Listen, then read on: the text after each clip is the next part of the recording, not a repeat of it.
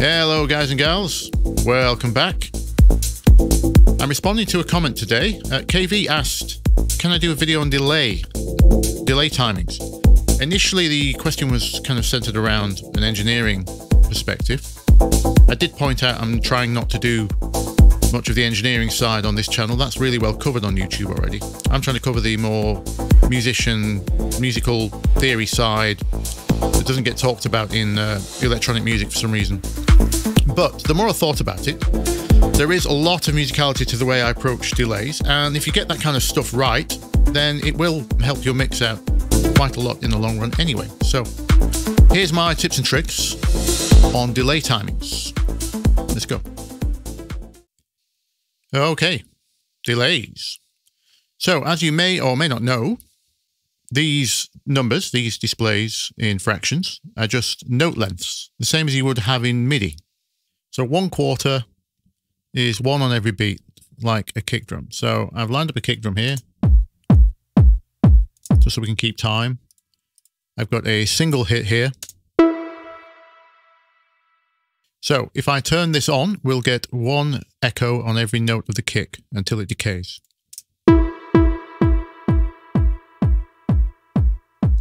So that's quarter notes. Nice and easy. And eighth notes, twice as fast. It should be two every kick.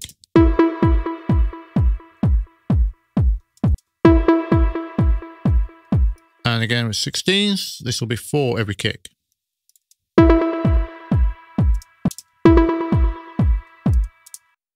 So now I'm going to turn the delay off and show you what this would look like if it was just written out in MIDI. There's no delay on now, this is just MIDI.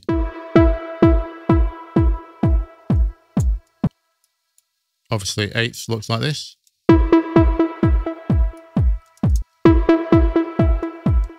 Sixteenths. Obviously, four every kick.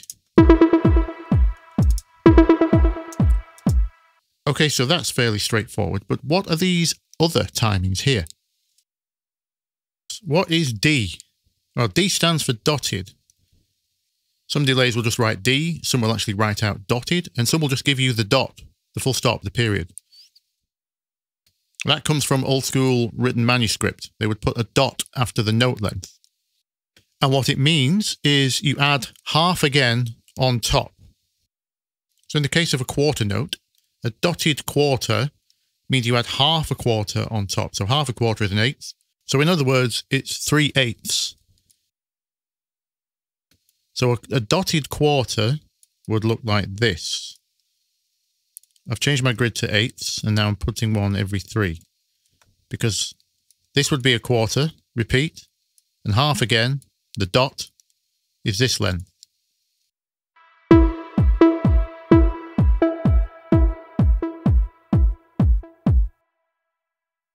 Let me show you that back on the actual delay. Quarter note dotted on our echo here.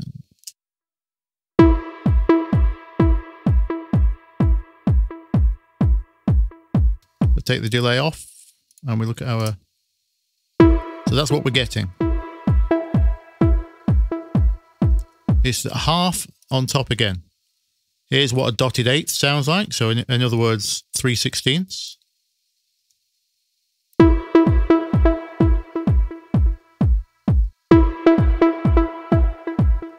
You'll sometimes hear dotted rhythms called the dub delay. Back to the actual delay, dotted eighths.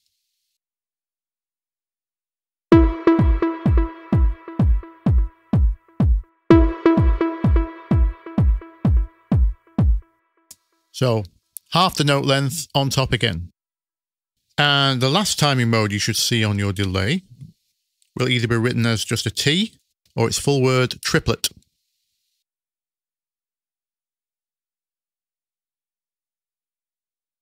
Now, triplets often get confused with dotted rhythms, but they are different. A triplet is when you squeeze three notes of equal length into the space of two. This would be a triplet eighth. So that's three notes equally spread over the space of two quarters. So that makes each one two thirds of a quarter. You keeping up with this? Obviously, the most confusing bit is it's not an eighth at all anymore when it's a triplet. I suppose they're just using its nearest neighbor. So turn on our delay, put it on eighth triplets. Should sound like this. One, two, three, one, two, three, one, two. It's basically like you've set your grid to 12, 8 instead of 4, 4, because there will be 12 eighths in a bar. That's how triplets are calculated. So three every two beats, basically. So why the maths lesson? basically, when you start to understand where the extra notes that you're repeating will land in your groove, we can make decisions which not only help the mix, but help the groove as opposed to hinder it because those two are related. You get a messy groove, your mix is going to be harder as well. So let me show you some examples, some tracks I've done. Okay, so I've got a track here which is almost designed around the use of delay. When you get used to certain rhythms and thinking about eighths, dotted, all that kind of thing within your writing, you start to get experience with what delays can help with those grooves. There's three parts in this track and they all rely on the delay for the groove. We've got the bass, the lead, and the stab part as well. So here's the bass.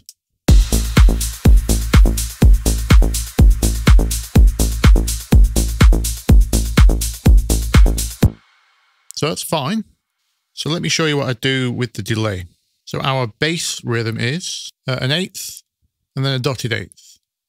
And how I use the delay on this line, I'm going to use an eighth delay and you'll see what it does is it adds a little rhythmic push to these gaps. So you won't hear this one, but this one will fill in just before this one. And let me show you what that does to the groove.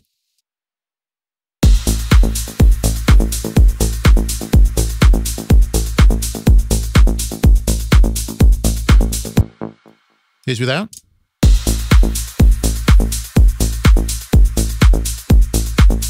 And with an eighth delay in there.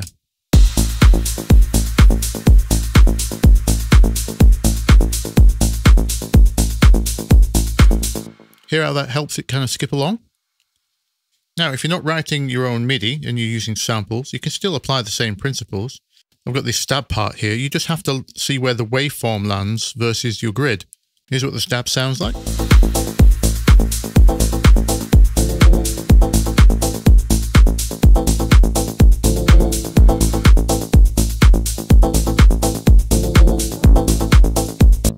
So same principle. Let me show you a bar of this versus a 16th grid. We can see we've got, these are an eighth apart. These are a dotted eighth apart. Got some more dotted over here. So again, I've chosen an eighth to bounce between those dotted eighth spaces.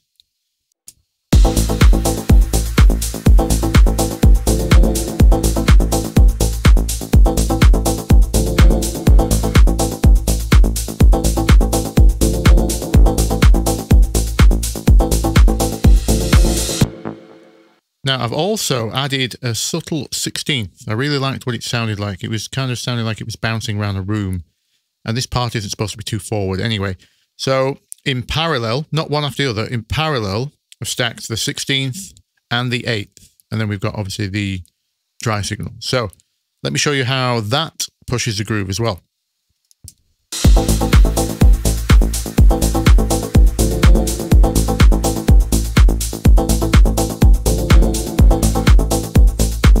See how much bounce that gives it? I'll show you the dry one again.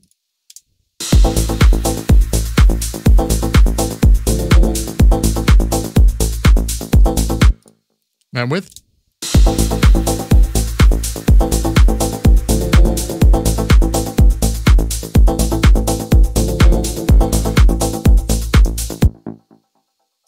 I've cranked them a little bit there so you can hear them better for the demonstration. Probably be a bit more subtle in the mix, but you can hear what that does for the groove.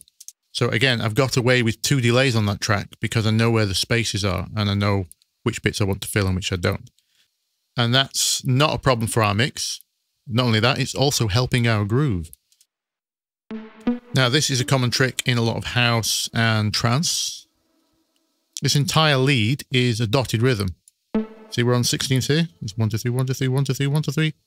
So 3 16ths apart, i.e. dotted eighth. And it doesn't stop until it comes around every two bars.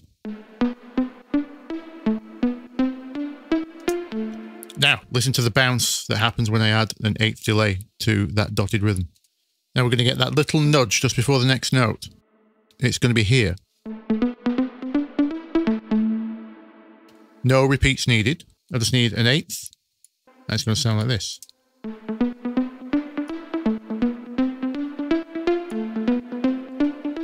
So here's the whole thing.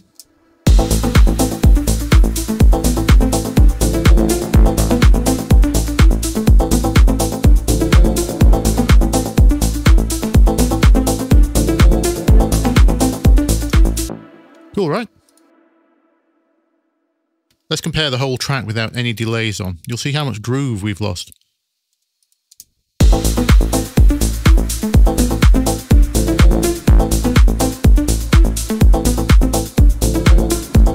It's kind of flat by comparison, doesn't it? So there's a great example of using delay for groove, not just ambience. Okay, I couldn't do a video on delay without mentioning this piece, the iconic Time 2 by Ewan Dobson. I'm going to leave a link in the description, but I'm going to show you what's happening. This is a classic example of designing around delay. If you have a musical part which is entirely square, i.e. all eighths, all quarters, etc. If you add a dotted delay with a single repeat to all of that, you get a new complex rhythm and melody. So let me show you without first. This is the melody that's going on underneath. These are all eighth notes.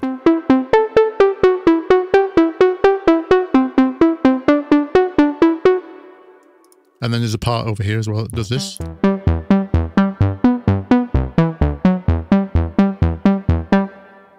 Nice and simple, right?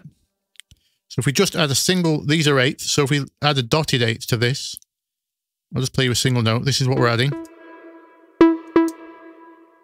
Just that one repeat. Now watch what happens when I turn this up.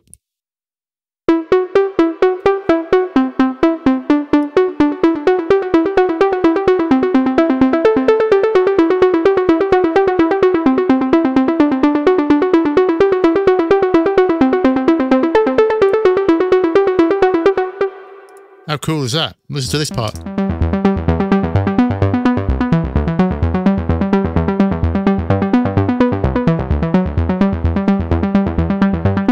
Without?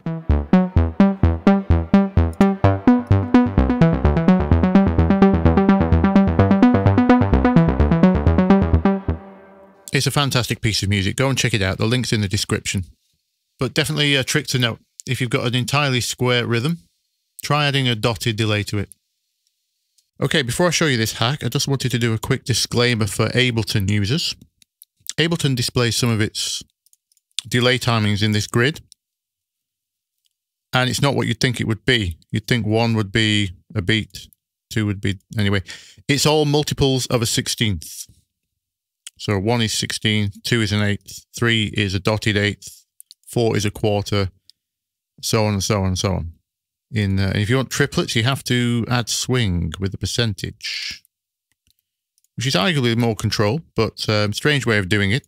So just thought I'd let you know because it's not the usual uh, way of displaying delay timings.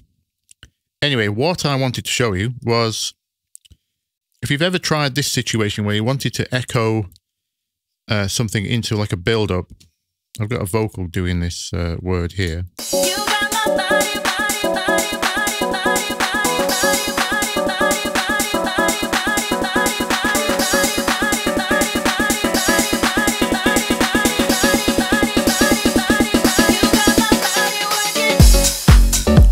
That kind of thing.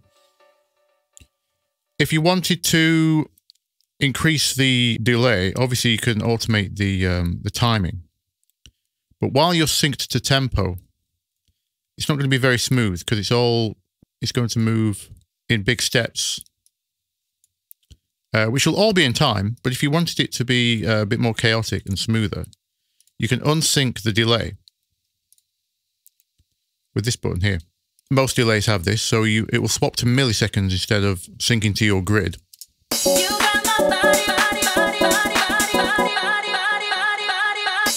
But the problem is most delays don't give you the milliseconds of the equivalent timing you were just on. So in my case, one quarter is not the same as 375. It's not being very. If I if I swap this, for example, it stays on 375. It's not um, a lot of delays have this behavior. It's very annoying.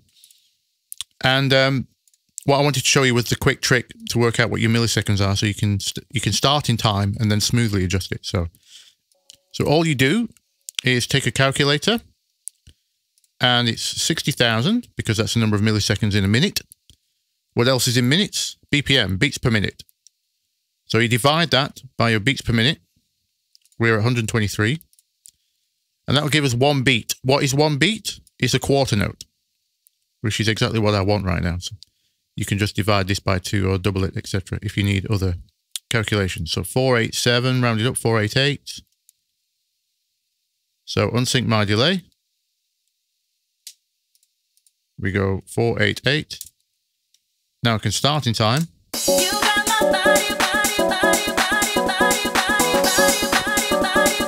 But then I can